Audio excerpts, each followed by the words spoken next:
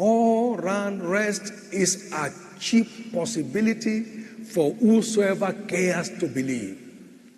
All round rest. Now, think of it. Goodness and mercy shall follow you all the days of your life. What's the meaning? All round rest.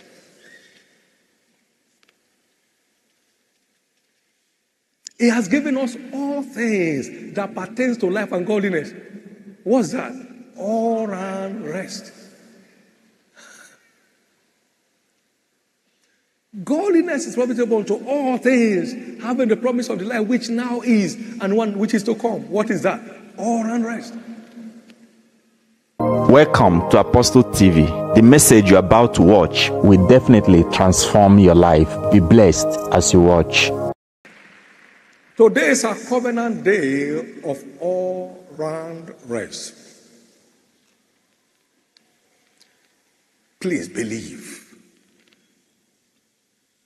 that all round rest is one of the blessings of redemption. All round rest.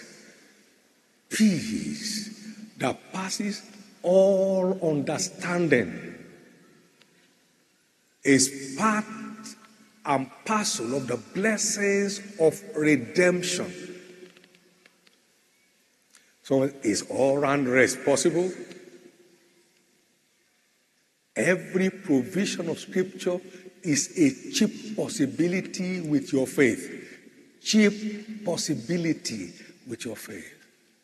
No provision of scripture will ever come true in your life without your faith. Blessed is she that believeth. There shall be performance of those things we are told her from the Lord. You don't believe, you can't see it. God's word is the most sure word of prophecy. What you don't believe, you never experience. All round rest is a cheap possibility for whosoever cares to believe.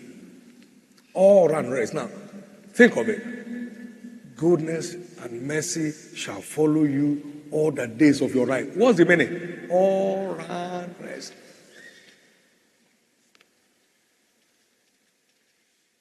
He has given us all things that pertains to life and godliness. What's that? All round rest. Godliness is profitable to all things, having the promise of the life which now is and one which is to come. What is that? All round rest.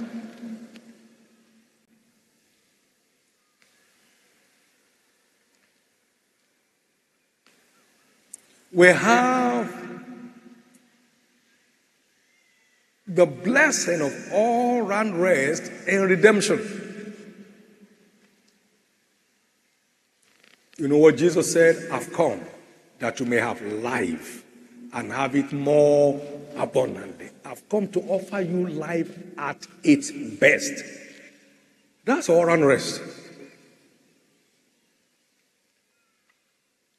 Now, but how do we enjoy the reality of all round rest?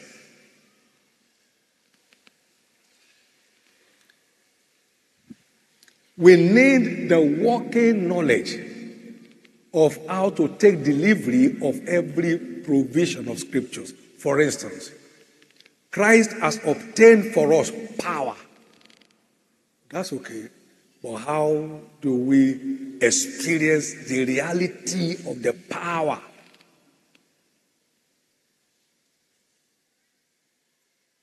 My soul thirsted for thee, my flesh longed for thee to see thy power and thy glory.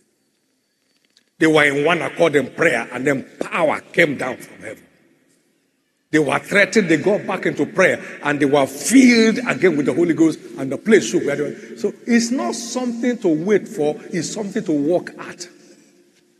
You see, when you find these floating teachings today on grace, it makes believers become absolutely irresponsible. God has done everything for you. You don't need to do anything. Sir, you can't live a sanctified life just hanging on what Christ has done. You must take responsibility to actualize it. Cast off the work of darkness. Don't toil with it. Purify yourself. Stop confessing. Take steps.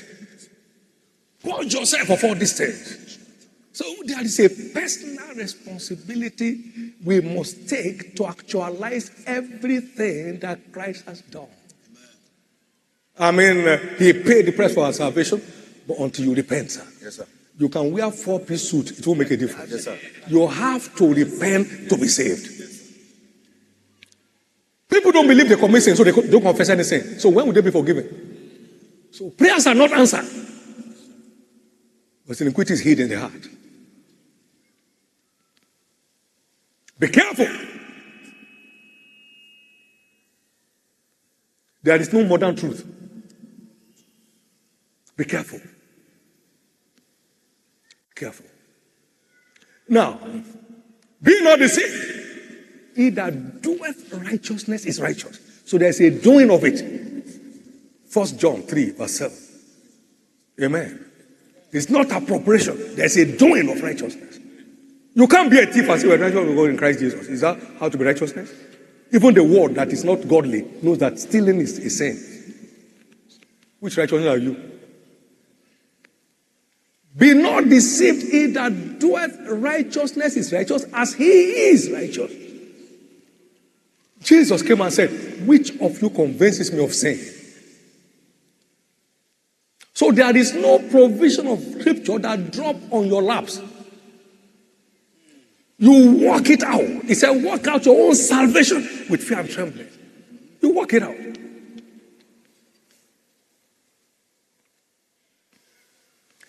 those who are thirsty after righteousness, they have challenges. What of those who don't think they need it? Then they are wallowing in the mire.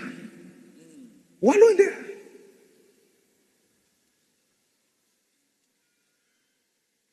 Blessed are they that hunger and thirst after righteousness, for they shall be filled. So there must be a hunger to be pleasing to God all the days of our lives. Is it in your Bible, be ye holy as I'm holy? Without holiness, no one shall see the Lord. They are all in New Testament.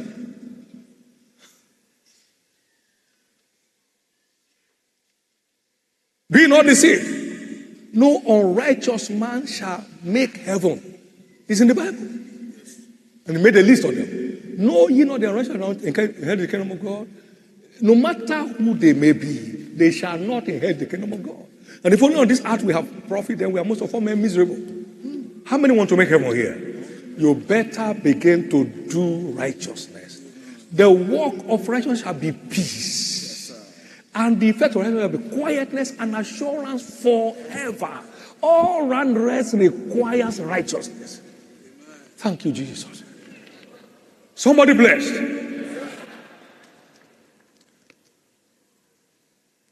There are many who love to preach. There are those who are sent to preach. There are different classes of people. Jesus came to pay the capital price for our sin so we can live a life that pleases God and make heaven at the end of our journey. No one shall miss it. Everyone under the sound of my voice today, you will make heaven. We shall all meet on the streets of glory.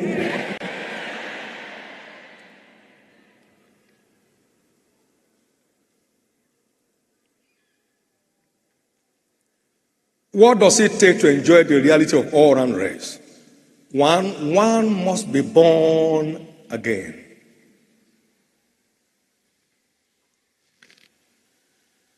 This is what salvation connotes. It is receiving Jesus into our heart. Revelation 5, Revelation 3, verse 20 Behold, I stand at the door and knock. If you open to me, I will come in. Now, that is the mystery of salvation. Jesus coming into the heart of a mortal man. Amen. And Isaiah chapter 9, verse 6, we are told, For unto us a child is born, unto us a son is given, the government shall be upon his shoulder, and his name shall be called what? Wonderful, Counselor, the mighty God, the everlasting Father, the Prince of Peace. So at new birth, the Prince of Peace comes to reside in you. So you have a fountain of peace on your inside. As I said, my peace I give unto you, not as the world giveth, give unto you. So at new birth, you have received the Prince of Peace into your heart. So you have a fountain of peace within you. And that is the number one step to enjoy all round rest. Accepting Jesus into your life so you can possess a fountain of peace within you. So, in the midst of the storms, you are fast asleep on a pillow.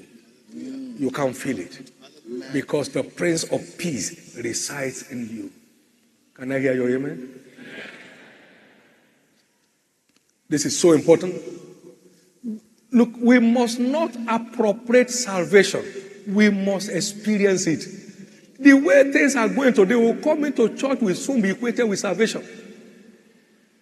In fact, a number of people now don't make any altar call. No. So nice to have you in our church today. Thank you very much. So nice to have. Ah, there are many believers who can't tell what time they got saved. Amen. There are many, many believers today around the world who can't tell what time they got saved, not even the year. They can't tell. There was no definite experience. It's just an appropriated salvation. That's not safe. A friend of mine told me something very humbling a few years back. He said, Can I tell you something? I said, No, you can tell me. He said, I was only following you because you are my friend. I didn't know the meaning of salvation all those years. He was telling me the truth. Amen. That's after I retired from one of the organizations. And now, a, you know, a son believer and is called to ministry. You know what I'm talking about? But he, I didn't know. I didn't know salvation. I didn't know. There are people sitting down in church today who can't tell when they were saved. Why don't you make today that day. Instead of guesswork? Amen. Make today that day instead of saying, Well, I think. No, you should know. February 19, 1969, I delivered myself to Jesus and he came into my life. And it's an experience I can't forget. Glory to God. Please, please, please. You, you need this prince of peace on your inside to enjoy the reality of all unrest. I've not had a first sleepless night on this ministry in my life. You need this prince of peace on your inside, not to run out of peace in the race of life. Very important. So, salvation is not just being a member of a church, it's becoming a member of God's own household, a member of God's own family. And then all that pertains to God begin to manifest in your life. Number two, one must seek to know the truth concerning our all round rest in Christ. Isaiah 59, verse 8. The way of peace they know not. There is no judgment in their goings. They have made them crooked paths, and whosoever goeth therein shall not know peace. So we need to learn the truth regarding our all round rest in Christ. Very important. Because all of our inheritance is delivered by the knowledge of the truth. According to his divine power, has given us all things that make for life and knowledge and, and, godliness through the knowledge of him. So we can only take of what belongs to us through revelation of the truth. Praise God. We need to seek to learn the truth concerning our all round rest in Christ. Come unto me, all you that labor and are heavy laden, you are restless, you are struggling for survival. Come and learn of me, and you will find rest for your souls. Matthew 11, 28 and 29. We must seek to learn. We must com- be committed to learning the truth concerning our all round rest in Christ. In Psalm 119, verse 165, the Bible says, Great peace have they which love thy law, and nothing shall offend them. Amen.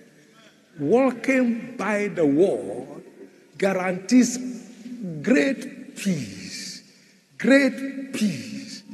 Great peace have they that love thy law, and nothing shall offend them. Whosoever has my commandment and keeps it is the one that loves me, and I will manifest myself to him. When Jesus is in the boat, there will be calm. Can I hear your amen?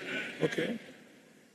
Now, in 2 Peter chapter 1, verse 2, he said, Grace and peace be multiplied to you through the knowledge of God and of our Lord Jesus Christ.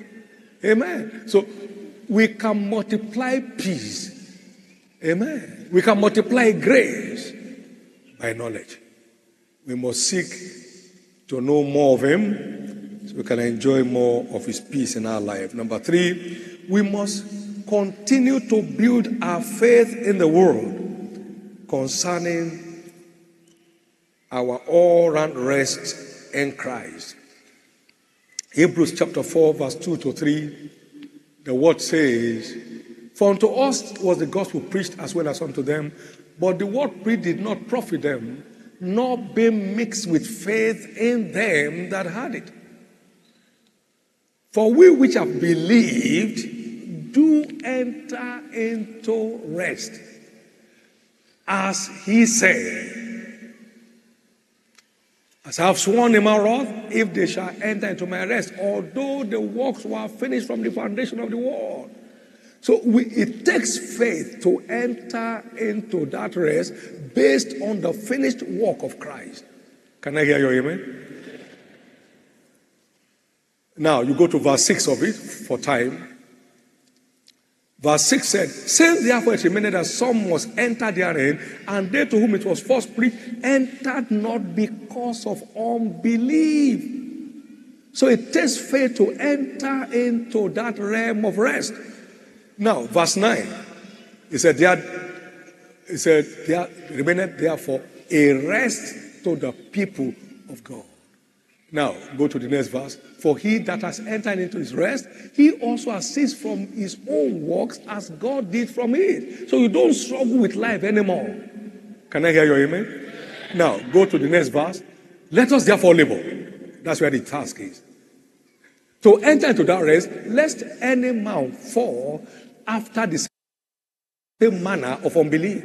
For the word of God is quick and powerful. So let's labor in the word and building our faith so we can enter into that rest. We labor, we labor. We are not just, you know, glancing through pages of scripture. We labor in the word to build our faith so we can enter into that rest.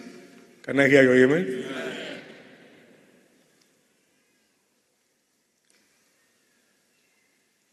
A few times, my wife and I have been involved in some um, accident. Praise God. you need to see me under such conditions. Absolute rest. Relax. Amen. The world has eaten you up. Whatever can jitter God can jitter you. Relax. In Jesus' name, no, no, once is enough. Don't say many Jesus' name on one thing. Praise God. Relax, relax. Great and peace multiplies by knowledge. Yes. Multiplied by what? Knowledge. Something is breaking forth in your life. It's the dawning of a new day for you. So stop waiting for things to happen. Start working them out. Start what? Start walking. He said, walk. If you don't work out your salvation, it will lose worth. It, nobody will know you are saved after some time. Your tongue will be dry. It's dry.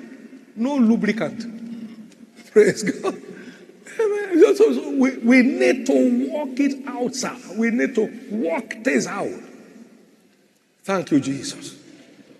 Thank you, Jesus. Something's breaking forth in your life. Let me hear your loudest amen. Thank you, Lord. We must continue to build our faith. Above all, taking the shield of faith and you quench all the fiery of the devil.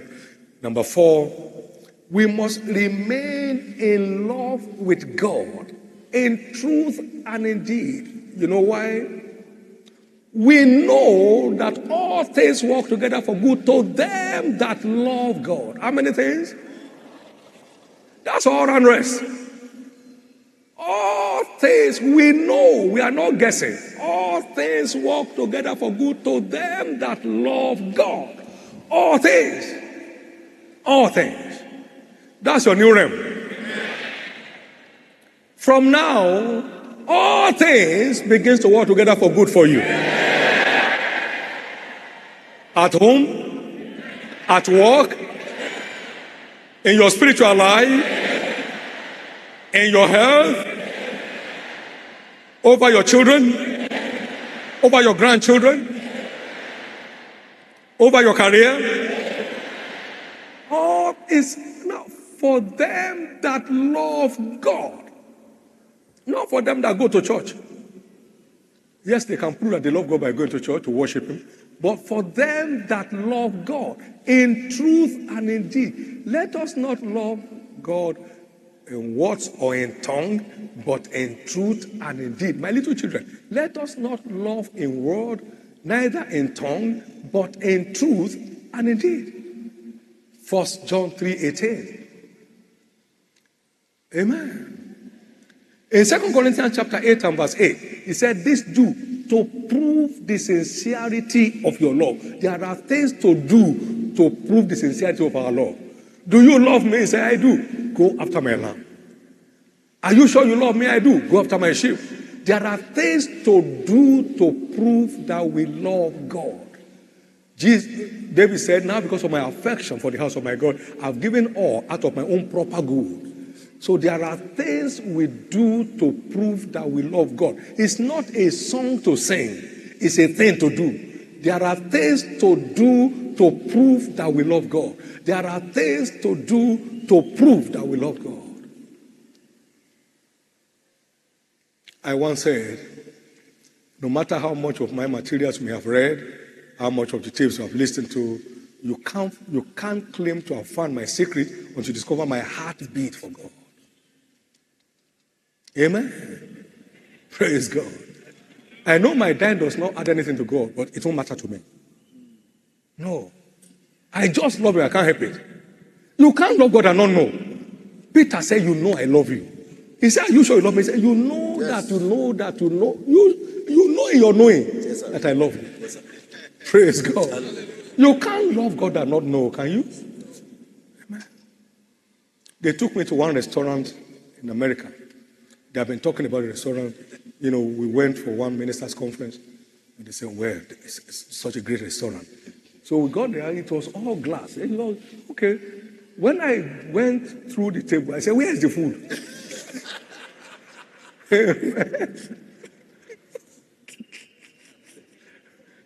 I can't see the food here. I won't tell you what they put on the table. As soon as I left, I called Chinese restaurant to bring me food. Amen. I don't love that food. I can't pretend. You can't love God and not know Amen. Praise God. Some of my friends were licking their mouths. They were enjoying it. They were really enjoying it. I was managing myself that we will soon be out of here. I can go and eat. Praise God. Thank you, Jesus. Somebody's breaking new ground. Well, every devil of unrest gets off your back today.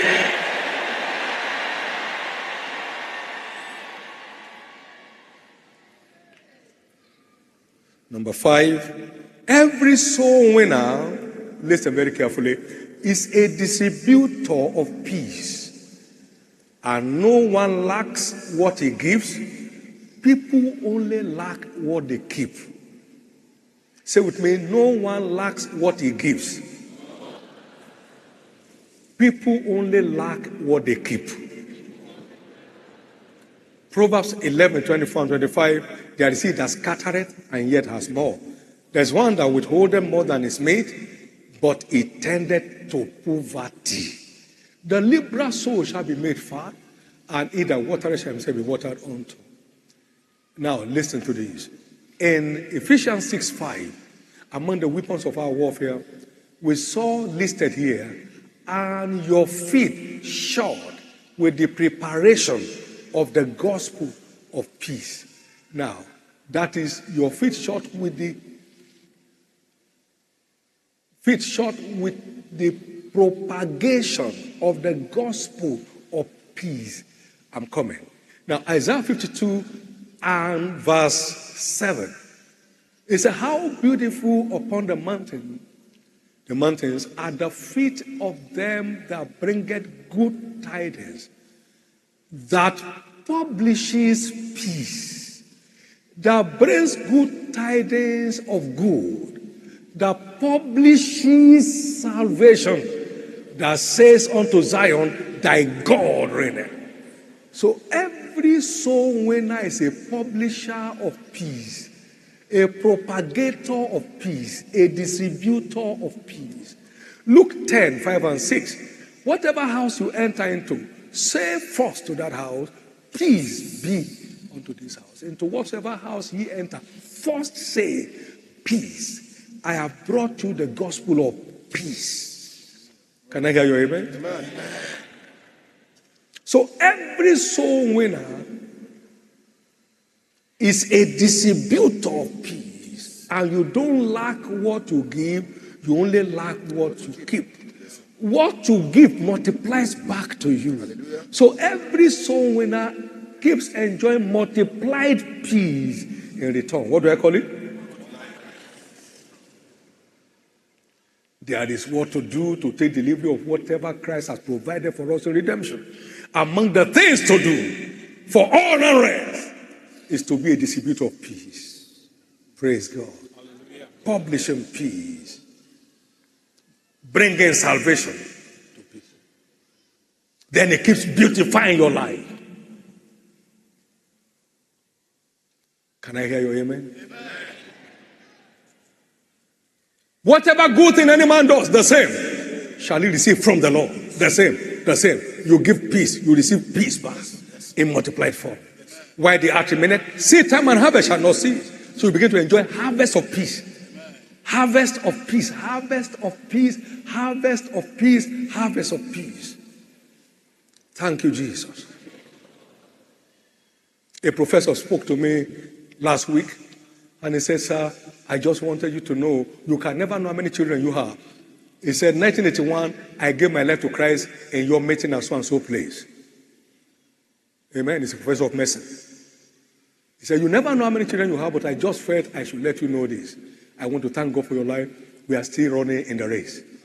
Can I hear your amen? 1981. That's some days. Praise God. How beautiful upon the mountain are they that bring good tidings. And that's you. So get excited. You'll never run out of peace anymore in your life. Number six, as we round up, be committed to worshiping God in church. Be committed to worshiping God in church.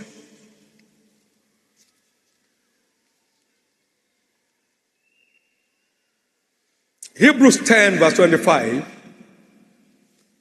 the word commands, not forsaking the assembling of ourselves together as the manner of some is, but exhorting one another, and so much the more as he see the day approaching. Why? Second Chronicles 15, verse 3 to 5. The Bible talking said, Now for a long season, Israel was without the true God and without a teaching priest and without law. But when they in their trouble, you'll be troubled when you are without a teaching priest. Because knowledge is not multiplying, so peace is drying up. Now, turn unto the Lord God of, their, of the, the God of Israel and sought him, he was found of them. Now, in those days, there was no peace to him that went out, nor peace to him that came in, but great vexations were upon all the inhabitants of the earth. Why? No true God, no teaching priest, no law. The teaching priests of God are they reside in church. Where do they reside? They reside in church. I will give you pastors after my own heart who shall feed you with knowledge and understanding. They shall feed you with knowledge and understanding. Pastors reside in church. Amen. So be committed to worshiping God in church. That is where knowledge multiplies and peace multiplies to much. Grace and peace multiplies by knowledge. The church is God's knowledge center. Has anybody caught any light here today? Now you can wait on your own for the next three years and not catch this. Next three years because it's not given to you. It's not given to you. It's in thy light shall we see thy light. So the teaching priests are illuminated individuals who are out to illuminate others. We, we must get to this. We must get to know this. Amen. Amen. Thank you, Jesus. Daily in the temple and from house to house. Acts chapter 5 and verse 42. It's a two way worship agenda that God has for the church. And daily in the temple and in every house, they cease not to teach and preach Jesus Christ. That is the verdict of heaven. Daily in the temple, not once a week, daily in the temple, from house to house. Thank you, Jesus. Somebody's story is changing. Thank you, Father. Finally, enter into a covenant to keep serving God and the interest of his kingdom as a way of life. Enter into a covenant to keep serving God and the interest of his kingdom as a way of life. This is one vital way to enjoy the reality of all round rest. The same Second Chronicles chapter 15 and verse 12 the Bible said that they enter into a covenant to seek or to serve the Lord God of their fathers with all their heart and with all their souls. Now, and they entered into a covenant. Now, verse 13, let's go to 13 and 14. Now, that whosoever will not serve the Lord God of Israel should be put to death, whether small or great, whether man or woman. and they swear unto the Lord with a loud voice and with shouting and with trumpets and with cornets. And all Judah rejoiced at the oath, for they had sworn with all their heart and sought with the whole of their desire. And he was fond of them, and the Lord gave them rest round. That's your new level. Many have entered into that covenant in this church. Such individuals will have the privilege of renewing that covenant today. Some have never entered into and wonder, would this solve my problem? you will enter into that covenant today. And you watch how God will keep decorating your life in grand style. Can I hear your amen? amen? The young lions may suffer want and hunger, but they that seek the Lord shall not want any good thing. Wherever you see seek, put serve. They that serve the Lord shall never lack any good thing. Seek ye first the kingdom of God and his righteousness, and all these things seek ye first. Not seek ye, seek ye first. Let it become your priority for living, and all these things shall be added to you. That's the kind of all round rest that that mystery offers. I'm sure it's clear right now that those things don't drop on our laps, we work them out. What do we do? Thank you, Jesus. How many know what to do now to enjoy all round rest all their life? Come on, give the Lord a big hand of praise.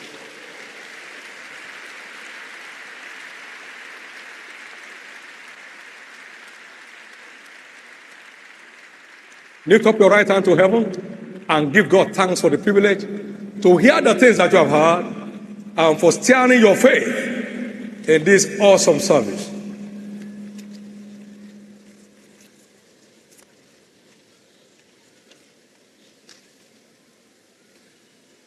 Thank you, Jesus. In Jesus' precious name we have prayed.